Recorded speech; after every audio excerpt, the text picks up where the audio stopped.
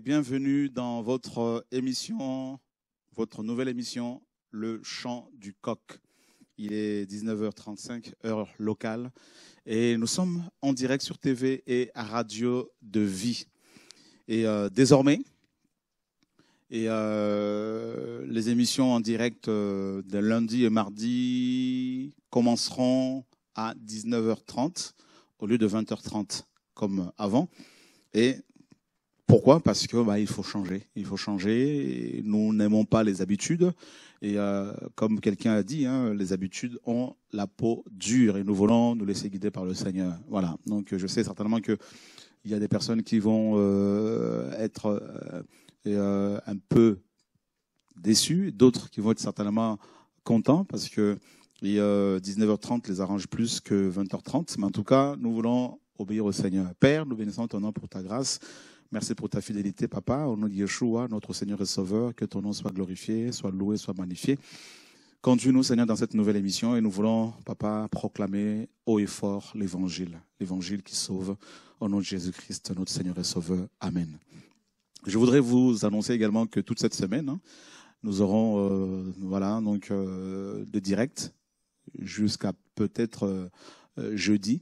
Et euh, si le Seigneur veut qu'on continue jusqu'à vendredi, voire euh, samedi, ben, on le fera. Sinon, euh, on, on s'arrête jeudi, donc jeudi 19h30. Donc demain, mercredi et jeudi 19h30, à partir de 19h30, on aura les directs. Voilà. Nous sommes rapidement dans, nous allons rapidement dans la marque chapitre 13, à partir du verset 30, euh, 32.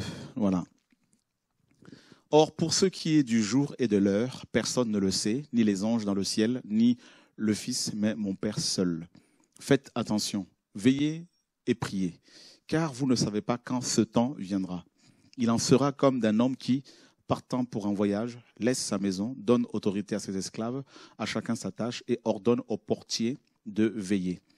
Veillez donc, car vous ne savez pas quand le maître de la maison viendra, ou le soir, ou à minuit, ou à l'heure où le coq chante, ou le matin. Craignez qu'il ne vous trouve endormi à son arrivée soudaine. Or, ce que je vous dis, je le dis à tous, veillez. Alors, nous nous sommes beaucoup plus, euh, nous allons beaucoup plus nous attarder sur euh, le verset euh, 30, euh, comment dire, 35. On a eu déjà à parler de ce passage, hein, et euh, voilà. Et là, nous voyons les quatre, euh, euh, les quatre veilles hein, de la nuit. Donc, parce que vous savez que chez les Hébreux, la nuit était divisée et séparée en trois veilles hein, de quatre heures chacune, c'est-à-dire de 18 heures à comment dire, de 18 heures à 22 heures. Ça, c'est le temps du soir. Et de 22 heures à euh, 2 heures du matin, c'est euh, le temps du, de minuit. Et de 2 heures du matin à 6 heures, c'est, le matin. Voilà. Et euh, chez, les, Grecs, la nuit était coupée ou séparée ou divisée en, euh, quatre, veilles, dont chacune comptait à peu près trois heures. Donc, et, donc nous avons, comment dire, de 18h à 21h, c'est le temps du soir. De 21h à minuit, c'est le temps de, bien sûr, minuit. Donc voilà. Et de minuit à 3 heures du matin, c'est le temps où le coq chante, ou le temps du chant du coq. Et de 3 heures du matin à 6 heures du matin, c'est le matin, bien sûr. Et le Seigneur ici, bien sûr, euh, a fait allusion à la nuit chez les Grecs, hein, la manière dont les Grecs avaient coupé, euh, divisé la nuit. Donc, c'est-à-dire une nuit divisée en quatre veilles, chacune comportant, hein, chacune ayant, euh, bien sûr, euh, trois heures. Donc, alors, le Seigneur dit ici, il nous donne des indices, hein, comme vous le savez, on en a parlé lors de la précédente émission. Et le Seigneur nous donne, et nous ne savons pas, bien sûr à quel, comment dire, le jour exact du retour du Seigneur, il le dit lui-même. Et euh, nous ne savons pas exactement l'heure à laquelle le Seigneur va revenir, mais par contre, nous savons à peu près à, quelle période hein, de la nuit où le Seigneur va revenir. Voilà, nous savons exactement à peu près à quelle période de la nuit le Seigneur va revenir. Alors ici, il faut comprendre qu'il n'est pas question ici de la nuit physique. Hein. le Seigneur parle, euh, euh, il se sert de cette image, en fait, d'une image, euh, pour parler de la nuit prophétique, c'est-à-dire littéralement des ténèbres, voilà, de la confusion, de, du péché. Et il le dit lui-même si bien hein, dans Matthieu 24, à partir du verset 12, il dit que parce que l'iniquité euh, ce sera accru. L'amour ou la charité du plus grand nombre se refroidira. Donc l'amour ou la charité va se refroidir tout simplement parce que dans le monde, le péché va connaître une croissance exponentielle, va s'accroître. Donc c'est ça la nuit. Et euh, lorsque nous allons dans Jean chapitre 9, par exemple, dans Jean chapitre 9, et euh, vous allez voir que quand le Seigneur est arrivé, donc à partir du verset premier, et euh, c'était le jour. Voilà, le jour pas selon bien sûr euh, les hommes, mais le jour selon Dieu, c'est-à-dire un temps de lumière. Voilà. Comme Jésus passait, il vit un homme aveugle de naissance. Et ses disciples l'interrogèrent, disant Maître, qui a péché? Celui-ci ou son père ou sa mère pour qu'il soit né aveugle? Jésus répondit Ni celui-ci, ni son père, ni sa mère n'ont péché, mais c'est afin que les œuvres de Dieu soient manifestées en lui. Il faut que je fasse tandis qu'il est jour, les œuvres de celui qui m'a envoyé. La nuit vient où personne ne peut travailler. Donc vous voyez bien que ici le Seigneur dit que pendant son ministère terrestre, pendant son séjour terrestre, eh ben c'était le temps, c'était la journée, c'était le jour. Pourquoi? Parce que Christ est la lumière du monde. Il le dit au verset 5, pendant que je suis dans le monde, je suis la lumière du monde. Voilà. Et il nous dit que la nuit allait venir. Voyez? La nuit allait venir. Regardez, nous sommes dans Matthieu chapitre 4, à partir du verset 17. Qu'est-ce que la parole nous dit ici? On nous dit, et euh, dès lors, Jésus commença à prêcher et à dire, repentez-vous car le royaume des cieux est proche. On va remonter un peu au verset 12. Euh, Jésus, ayant appris que Jean avait été mis en prison, se retira dans la Galilée. Et ayant quitté Nazareth, il alla demeurer à Capernaum, ville maritime sur les confins de Zabulon et de Nephtali, afin que s'accomplisse ce qui avait été annoncé par Ésaïe le prophète en disant Le pays de Zabulon et le pays de Nephtali, de la contrée voisine de la mer, au-delà du Jourdain et la Galilée des gentils, ce peuple assis dans les ténèbres a vu une grande lumière, et pour ceux qui étaient dans ceux qui étaient assis dans la région et dans l'ombre de la mort, la lumière elle-même s'est levée. Donc on voit bien que avant que le Seigneur ne vienne, hein, ne, ne, vienne sur terre lors de sa première venue, ben, le monde était dans les ténèbres. C'était la nuit. Le Seigneur vient, c'était le jour. Le soleil levant, s'est levé, l'étoile brillante du matin a commencé à briller, et il a fait cette, euh, ce jour a duré trois ans, trois ans de ministère de Christ sur terre.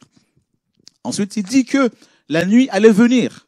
Effectivement, donc il annonce des temps difficiles. Il n'a pas annoncé, mes amis, euh, et euh, euh, l'évangile de la prospérité comme vous l'apprenez, comme vous l'entendez aujourd'hui. Non, il annonce des temps difficiles dans le monde. Et qu'est-ce qu'il annonce? Nous sommes dans donc le Seigneur dans Jean 9, on l'a vu, il va il va dire que la nuit va la nuit va arriver, la nuit vient. Hein? Donc la nuit, bien sûr, est l'image ici du royaume des ténèbres, de Satan, des démons, tout ça, des troubles, des guerres, des tribulations, de toutes ces choses. Nous sommes dans le livre de Romains chapitre 13, à partir du verset 11. Et là, Paul reçoit de l'Esprit un éclairage. Et qu'est-ce qu'il dit? Regardez bien. Même vu la saison, parce qu'il est déjà l'heure de nous réveiller du sommeil, car maintenant le salut est plus près de nous que lorsque nous avons cru. Le salut ici, bien sûr, c'est Yeshua, bien sûr, qui vient nous délivrer. La nuit est avancée, verset 12. La nuit est avancée. Donc Paul écrit cette euh, épître en à peu près en l'an 50, euh, 55, si je ne me trompe pas, après bien sûr euh, Christ, c'est-à-dire à peu près 22 euh, ans après euh, la résurrection et l'élévation du Seigneur au ciel. Et qu'est-ce que Paul dit? Il dit, 22 ans après que Christ ait annoncé la venue de la nuit, Paul dit que la nuit était effectivement arrivée et qu'elle était même avancée et que le jour approchait. Donc, à l'époque de Paul déjà, l'Église, le monde s'est situé entre mes amis, minuit et 3 heures du matin, c'est-à-dire pendant la veille, hein, lors de l'église se situait en pleine troisième veille, c'est-à-dire au chant du coq, au temps du chant du coq. C'est-à-dire à une période où Dieu hein, euh, euh, a suscité dans les nations des hommes et des femmes qui sont considérés comme des coqs, des moins que rien, qui sont négligés, qui sont chassés, qui sont méprisés. Mais pourtant, ils sont porteurs d'un message qui est censé réveiller les gens. Telle est la mission euh, des coqs. Hein, euh, voilà, qui sont constitués, qui sont euh, comme des, des, réveils matins. Ils ont la mission de réveiller les gens, bien, bien sûr. Et, euh, et, et, et, voilà. Et, et là, ben, Paul situe l'Église. Paul, en tant que prophète, dit que l'Église se retrouve, mes amis, euh, entre minuit, à l'horloge de Dieu, bien sûr, entre minuit et trois heures du matin, c'est-à-dire au chant du coq. C'est une période compliquée, une période d'apostasie. Et il dit, le jour approche. Le jour, bien sûr, c'est Christ.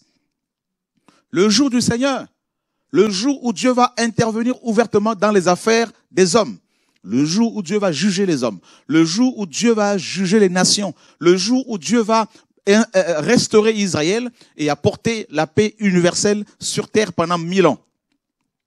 Le jour où le Seigneur va lier Satan pour mille ans. Et les Écritures ici nous dit que il y a deux mille ans déjà, le monde, mes amis, se retrouvait se retrouve. Depuis 2000 ans, nous nous retrouvons, hein, nous sommes situés entre minuit et 3 heures du matin à l'horloge de Dieu. Pas la nuit selon les hommes, la nuit selon Dieu, c'est-à-dire au temps d'apostasie, au temps de confusion. Et nous y sommes sur le plan politique, sur le plan économique, sur le plan familial, sur le plan spirituel, sur le plan religieux. Eh ben, il y a de la confusion partout. Partout. Partout. Quel est l'évangile qui est annoncé aujourd'hui Vous le savez déjà. Hein? Donnez, vous serez bénis.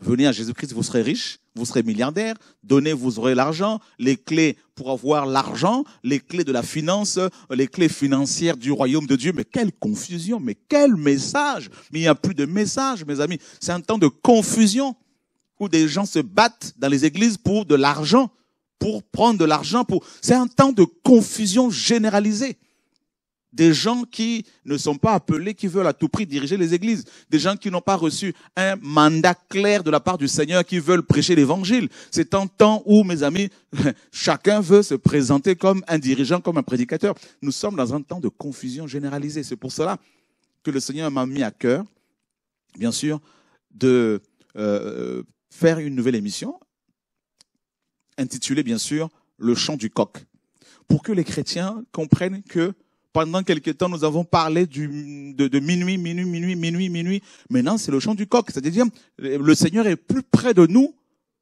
qu'avant.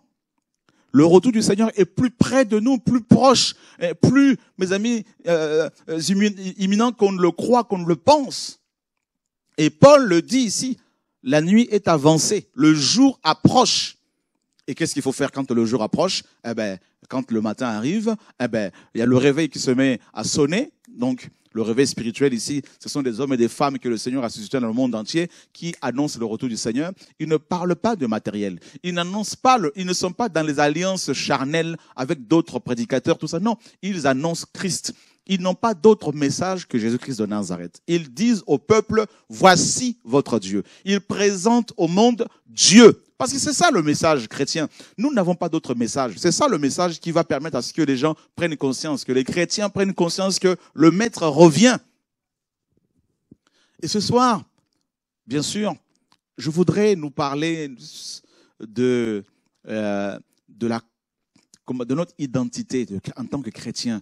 Parce que le Seigneur revient, il vient chercher qui? Il vient chercher ses enfants.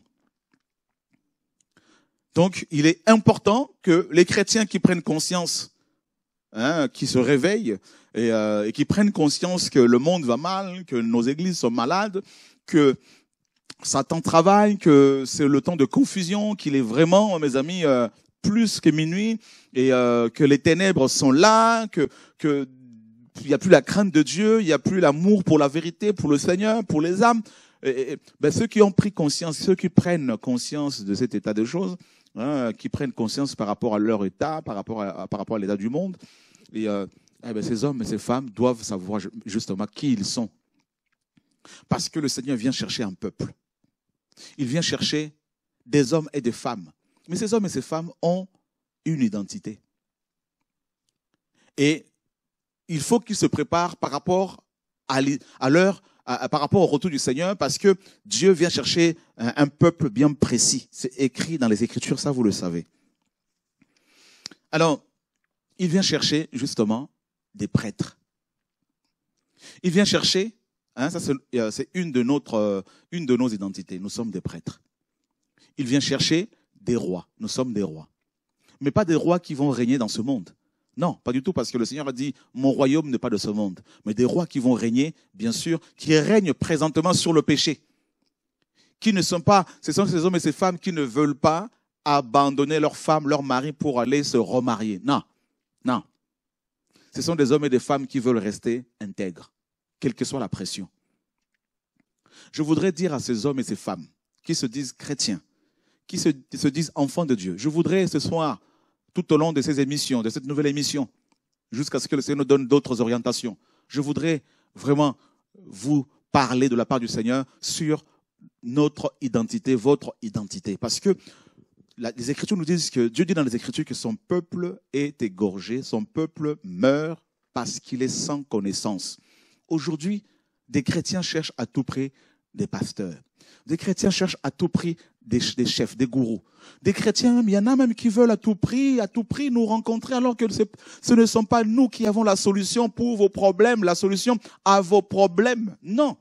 Nous sommes nous-mêmes, nous, sommes confrontés nous-mêmes aux problèmes liés à la vie, liés aux choses de ce monde, liés aux attaques, hein, à la tribulation, tout ça. Donc, il est question, mais il est important que chaque enfant de Dieu qui se prépare, euh, qui aime le Seigneur, que chaque enfant, de Dieu sache en quel temps nous sommes et connaisse également hein, euh, euh, euh, son identité pour ne pas se laisser avoir parce que les temps sont difficiles.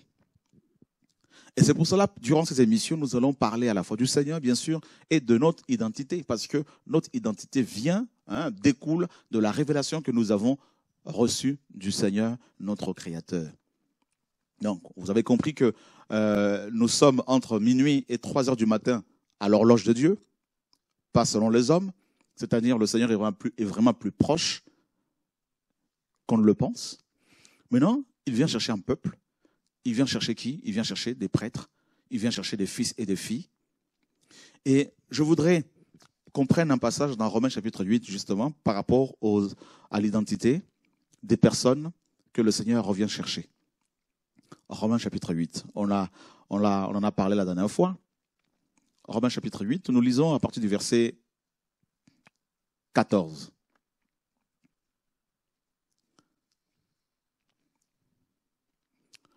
Il est dit, car tous ceux qui sont conduits par l'Esprit de Dieu sont fils de Dieu. Waouh! Donc, le Seigneur, je voudrais ce soir parler de l'identité des fils et des filles que nous sommes, parce qu'il vient chercher ses fils et ses filles. Oui, mes amis, vous qui êtes chrétiens, vous qui aimez le Seigneur, je voudrais que vous sachiez que vous êtes fils et filles de Dieu. Et en tant que fils et filles de Dieu, vous n'avez pas besoin d'un gourou. Vous n'avez pas besoin d'avoir des prophètes qui vous disent euh, qu'est-ce que Dieu a dit, qu'est-ce que euh, le, ce que le Seigneur attend de vous. Non, non. Ne venez pas nous consulter comme des gourous, comme des sorciers, comme des marabouts. La dernière fois, lors d'un programme de réveil ici, on a prié, j'ai prié pour une dame. Et à la fin, elle vient me voir, alors que j'étais debout, je suis resté debout pendant au moins trois heures. Elle vient me voir et je lui dis, mais madame, j'ai déjà prié pour vous. Elle me dit, oui, mais quand même, je voudrais vous voir parce que ça fait quand même six mois, tout ça. Là. Je lui dis, mais je suis désolé, mais euh, je suis un homme. Je ne suis pas un, esprit euh, n'ayant pas euh, de la faiblesse, des faiblesses physiques et euh, tout ça. Je peux me fatiguer, donc je suis fatigué. Elle ne voulait pas, elle ne voulait, elle ne voulait rien entendre. Et je me suis dit voilà des telles, voilà des personnes qui sont généralement et souvent abusées par des faux pasteurs. Et une deuxième femme, le même jour, hein, vient me voir, elle me dit, non, mais je veux aussi vous voir, tout ça. Je lui dis, madame, j'ai prié pour vous samedi euh, d'avant, aujourd'hui, et vous voulez quand même me voir? Elle me dit, oui, mais parce que j'aimerais vous voir pour vous exposer mes problèmes de santé. Je lui dis, madame, et moi, quand j'ai des problèmes de santé, est-ce que je vous appelle? Là, elle m'a regardé avec de gros yeux, comme si c'était une grande... Euh, c'est-à-dire, euh, elle était choquée d'entendre ça. Et elle a compris. C'est comme si elle avait, elle était voilée, et puis quelque chose, il y a comme des écailles qui sont tombées. Et effectivement, elle a réalisé que je n'étais pas un médecin. Mais tu ne peux pas venir me voir après euh, la prière pour m'exposer tes problèmes de santé parce que je ne suis pas ton médecin. Expose tes problèmes à Dieu. Je ne dis pas qu'en tant que chrétien, on ne peut pas parler de nos problèmes aux frères et sœurs pour demander la prière. Ce n'est pas ce que je dis. N'interprétez pas mal mes propos. Je voudrais dire aux chrétiens que les Écritures nous disent quiconque invoquera le nom du Seigneur. Yahweh l'a dit dans Joël 2, 32 et dans Romains 10, 13, 12, 13. Les Écritures nous disent, Dieu dit dans les Écritures que si quelqu'un invoque son nom, il va être exaucé. On n'a pas dit qu'il faut à tout prix aller voir un prophète, un apôtre, un gourou, un sorcier, tout ça là pour exposer vos problèmes. Et c'est ça un de, c'est un des problèmes qui mine les chrétiens. Ils veulent à tout prix avoir hein, un pasteur. Hein, ah, ça c'est mon pasteur auprès de qui j'expose mes problèmes. Non, non, ça ce n'est pas être chrétien. Être chrétien, c'est être capable, c'est aller d'abord, c'est le fait d'aller d'abord exposer ses problèmes à Dieu, c'est le fait d'aller premièrement voir le Seigneur. Et c'est Dieu qui peut nous dire, qui peut vous dire, une fois qu'on l'a consulté, ben, allez voir tel serviteur, tel servante, tel frère, telle sœur, et il va mettre la paix dans le cœur de la personne. Et c'est ce que Dieu a fait. Il a dit à Paul, va voir Ananias. Et il a dit à Ananias, je t'enverrai, va voir. Il a dit à Paul, va voir Ananias.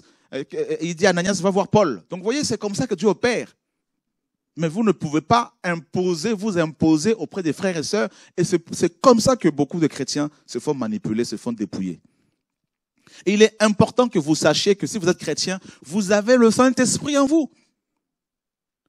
Vous avez l'Esprit de Dieu, vous avez l'onction. Je parlais avant-hier à une sœur, parce que nous sommes allés euh, assister un frère qui a perdu son papa.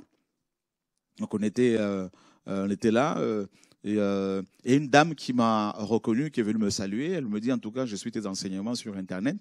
Et que Dieu te bénisse en tout cas parce que mes yeux se sont ouverts. Avant, je courais après, hein, les pasteurs pour leur exposer mes problèmes. Et, on nous enseignait qu'il n'y a que les pasteurs qui avaient l'onction. Et nous, chrétiens, on n'avait pas d'onction. Alors, quand j'ai suivi les enseignements sur euh, tes vœux de vie et que euh, j'ai appris que j'avais le Saint-Esprit, que j'avais l'onction, eh ben, c'était une délivrance pour moi, disait, hein, c'était une délivrance pour, pour elle. Et puis elle a dit, elle s'est dit, mais j'ai commencé à prier pour mon mari, Dieu l'a, Dieu l'a visité, Dieu l'a béni par rapport à son travail. Et j'ai commencé à prier pour ma famille, pour moi, et le Seigneur a commencé à agir. Et elle était dépassée. Je lui dis, mais ma soeur, tu, tu vois, c'est tellement simple maintenant, on veut à tout prix aller voir un homme, on veut à tout prix aller voir une prophétesse. Hein. On est content d'avoir une prophétesse qui va prier pour, qui va exposer nos problèmes à Dieu, tout ça. Mais, mais vous pouvez vous-même aller directement vers le Seigneur. Dieu vient chercher des hommes et des femmes qui vont le voir, qui vont devant le trône pour lui exposer leurs problèmes. Il ne vient pas chercher les idolâtres. C'est ça le problème de beaucoup de chrétiens. Qui êtes-vous? Si vous êtes fils de Dieu, eh bien, c'est l'Esprit de Dieu qui doit vous conduire. C'est pour cela, ici, il est dit que, car tous ceux qui sont conduits par l'Esprit de Dieu sont fils de Dieu. On n'a pas dit tous ceux qui sont conduits par des pasteurs. Non. Tous ceux qui sont conduits par l'Esprit de Dieu. Et l'Esprit de Dieu conduit les gens dans toute la vérité. Et toute la vérité, la vérité, c'est Yeshua. Voilà, vous connaîtrez la vérité et la vérité vous rendra libre. Voilà. Pourquoi beaucoup de chrétiens ne sont pas libres? Pourquoi ils sont encore attachés à leur, pasteur? Ils sont encore attachés à leur bâtiment? Ils sont encore attachés à leur site euh, où on ne prêche même pas la parole véritable? C'est parce qu'ils ne veulent pas être conduits par le Saint-Esprit. C'est pour cela quand un pasteur dit, quand un prédicateur, un dirigeant dit, ah, actuellement vous n'allez pas me voir, et il commence à paniquer. Comment allons-nous faire? Mais voilà, voilà comment. Mais Jésus est mort et ressuscité, il est vivant, Jésus. Mais l'Esprit est là pour nous conduire. Faites, faites-lui confiance. Oh Seigneur, sauve-nous. Et le verset 15 nous dit de Romains 8, et vous n'avez pas reçu un esprit de servitude pour être encore dans la crainte ou dans la peur. Voilà. L'esprit de servitude. Beaucoup de chrétiens ont peur. La peur de l'homme, la peur des hommes, la peur des démons. C'est pour cela qu'ils vont chercher des ministères du combat spirituel où ils vont chercher des démons, combattre, combattre, combattre. Ils ne sont pas fatigués. Seigneur, sauve-nous. Sauve-nous, oh mon Dieu, sauve-nous. La peur, mes amis, la peur paralyse. Beaucoup de chrétiens ont peur, peur de sorciers. Ah, mon père est sorcier, ma mère est sorcière. Alors il ne faut pas que je la voie, que je la salue, sinon elle va m'attaquer. Mais, mais, mais c'est grave. Mais ce sont plutôt les sorciers qui doivent avoir peur des chrétiens. Parce que nous avons l'esprit de sainteté, l'esprit de vie, l'esprit de vérité, l'esprit de Dieu, l'esprit de Jésus en nous. Et ce sont ces hommes et ces femmes que le Seigneur vient chercher la peur. Alors, quand ils ont affaire à un démon, il faut à tout prix qu'ils aillent chercher quelqu'un qui, qui a le ministère de délivrance. Oh Seigneur, sauve-nous. C'est comme le Seigneur a dit, voici les miracles qui accompagneront ceux qui auront cru. Il n'a pas dit, voici les miracles qui vont accompagner les prédicateurs de YouTube ou de Facebook. Il n'a pas dit, voici les miracles qui accompagneront ceux qui ont été ordonnés, reconnus officiellement comme prédicateurs, comme ministres et ceux-là qui sont en costard et cravate, qui sont sur euh, Facebook hein, avec leurs photos, leurs femmes, qui ordonnent leurs femmes pasteurs, qui vous parlent des clés, qui vous parlent des, des méthodes pour toucher le cœur de Dieu, qui vous... Oh Seigneur, tout ça là c'est de la philosophie, hein, ça sonne bien, mais en fait ça n'apporte pas la vie. Voilà. Voilà. Donc, le Seigneur est clair ici. Il dit, vous n'avez pas reçu un esprit de servitude, être esclave des hommes, esclave des hommes. Hein, faites ci, faites ça, faites ci. Oh non, je fais des courses pour mon bishop. Oh non, je veux faire ci, je veux faire. Non, le Seigneur dit, nous ne sommes pas esclaves des hommes. Nous ne sommes pas esclaves du péché non plus. Nous ne sommes pas esclaves de ce monde, esclaves de la chair. Mais vous avez reçu l'esprit d'adoption par lequel nous crions Abba, c'est-à-dire Père. Waouh! Waouh, Seigneur, mes amis, Dieu est bon. Nous avons reçu l'esprit d'adoption, c'est-à-dire nous avons été adoptés. L'adoption est quelque chose de légal, quelque chose de. Vous savez, un enfant adopté, c'est un enfant qui est reconnu officiellement par l'État, hein, euh, par un État, hein, par un gouvernement, et cet enfant va automatiquement devenir membre de sa nouvelle famille il va automatiquement bénéficier, n'est-ce pas, des biens de ses nouveaux parents.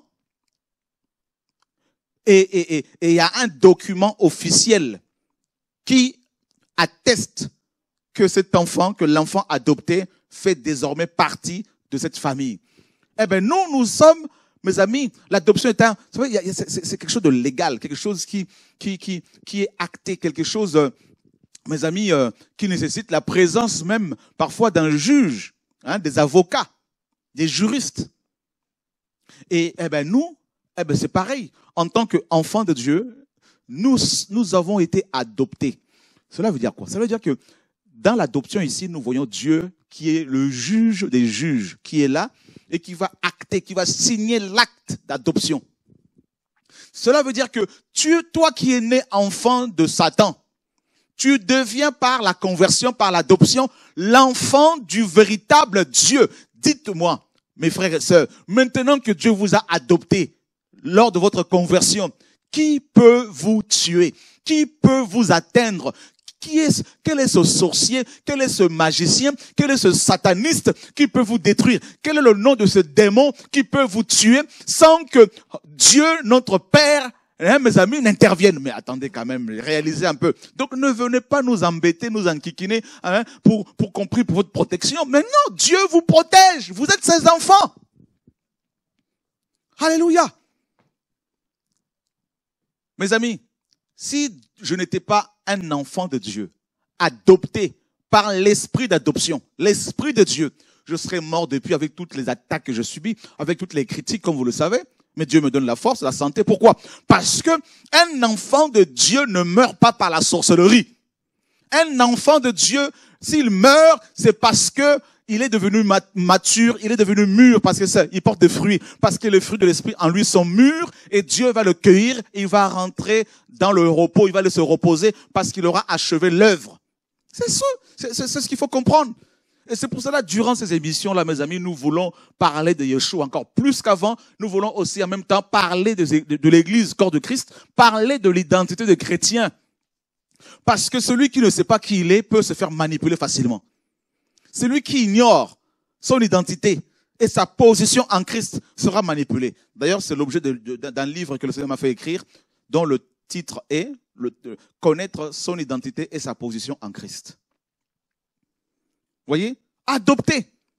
Et nous crions, Père, Père. Vous vous rendez compte?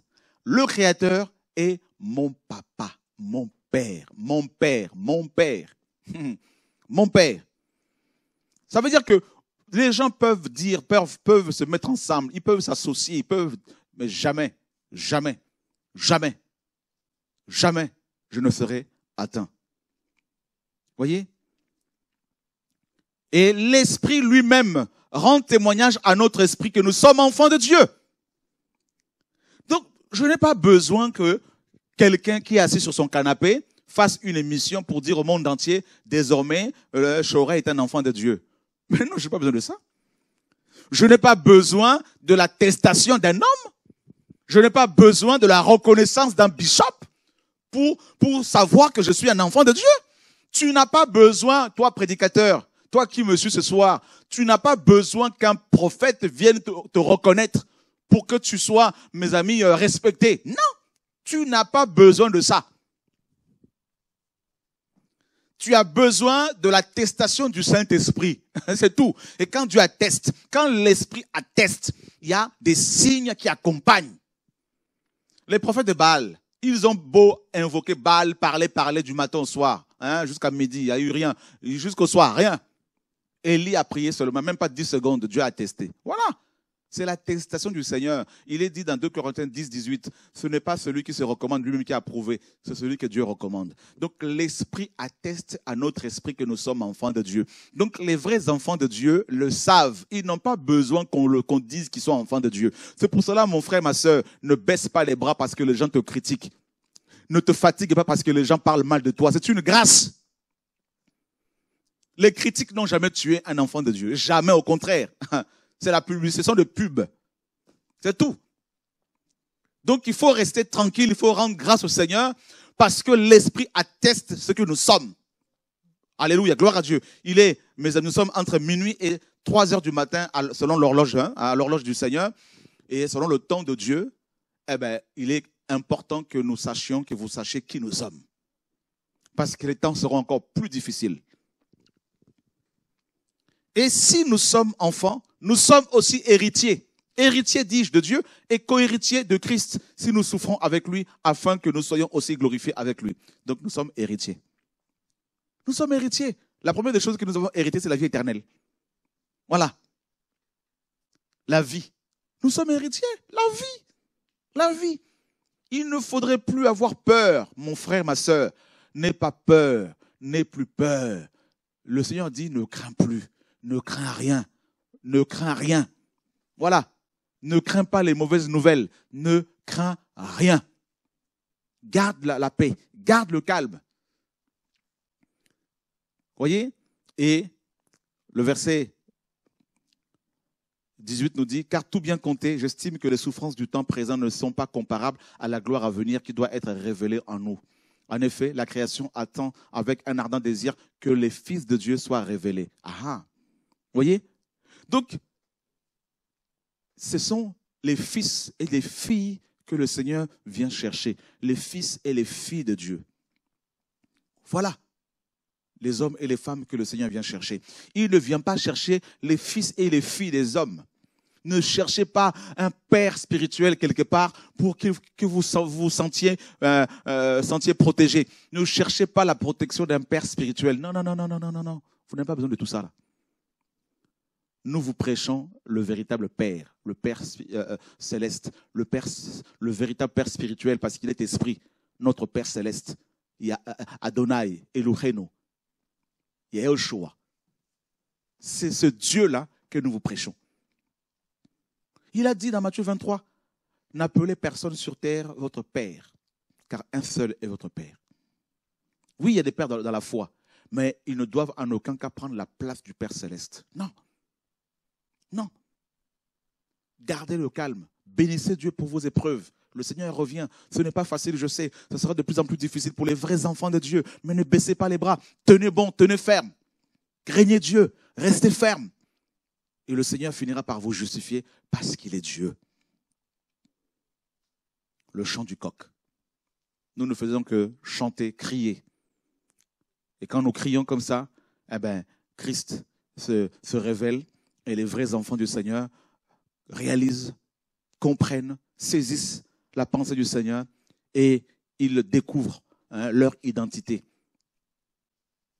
Oh Seigneur, sauve-nous. Que le Seigneur soit béni. Que le Seigneur vous fortifie, vous encourage. Le Maître revient nous chercher. Il vient chercher des fils et des filles, les héritiers. Quelle grâce. L'esprit d'adoption est en vous, en vous. Cela veut dire que votre enfant, s'il est malade, vous priez pour lui. Vous priez pour vos enfants avant de chercher, de chercher, oh non, il faut absolument un pasteur. de prier pour vos enfants. Vous pouvez les amener voir un médecin. Euh, euh, euh, vous priez pour les enfants, vous priez pour vos femmes, priez pour vos maris, vous priez pour vous-même. Avant de demander de l'aide aux autres, commencez d'abord par prier pour vous, par demander au Seigneur ce qu'il ce qu'il attend de vous. Dans nos églises, pratiquement dans la plupart de nos églises, des chrétiens sont étouffés. Des chrétiens sont tués. Des chrétiens sont là depuis 20 ans, 15 ans. Ils sont assis, ils écoutent les mêmes prédications et les mêmes choses. Hein. Séminaire de formation, séminaire biblique, école biblique, 600 euros, 2000 euros, 500 euros, je ne sais pas combien vous payez. Mais après, et après tout ça, ça donne quoi? Des chrétiens assis tous les dimanches, même chose depuis 15 ans, 20 ans? Non. Non. Nous sommes enfants des enfants, des enfants de Dieu. Nous sommes enfants de Dieu, des fils et des filles. Nous avons une identité et Satan le sait. Satan le sait. Et Dieu, en tant que Père, il veille sur ses enfants. Il aime ses enfants. Il nous aime. Dieu t'aime plus que tu ne le penses. Il t'aime plus que tu ne le crois. Et d'ailleurs, les vrais enfants de Dieu, dans ce bas monde, souffrent. Ils pleurent parce qu'on les rejette, parce qu'on les blesse, parce qu'on les accuse faussement, parce qu'on les, on les bannit, on les exclut des synagogues. On les traite de satanistes, de sorciers, de magiciens, de tous les noms. Mais ne perdez pas votre confiance en Dieu. Ne perdez pas votre espérance, parce que ce que Satan veut, c'est de détruire votre espérance. Car une personne qui n'espère plus en rien, surtout pas en Dieu, cette personne-là peut facilement devenir la proie de l'ennemi et c'est pour cela que, quelles que soient les épreuves, les difficultés, ne baissez jamais les bras. Que le Seigneur vous garde.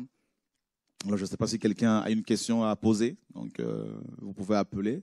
Sinon, euh, je vous donne un autre rendez-vous euh, demain soir, 19h30, heure de Paris, pour une nouvelle émission, une nouvelle exhortation. Donc voilà, ce sera toujours, bien sûr, le chant du coq comme thème. Hein.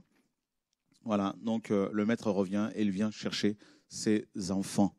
Alors, cherchez à savoir si vous êtes véritablement un enfant de Dieu. Et un enfant de Dieu, quand il a un problème, il invoque le Père. C'est écrit, hein, nous crions Abba Père. C'est d'abord le Père céleste qui est invoqué. Yahweh. Avant de chercher les hommes, c'est d'abord Dieu qu'on doit chercher. C'est ça, l'attitude d'un enfant de Dieu. Dieu, notre Père, Dieu, mon Père, Qu'est-ce que tu dis dans telle situation? Qu'est-ce que tu veux que je fasse, Seigneur? Que Dieu soit béni, que Dieu vous garde.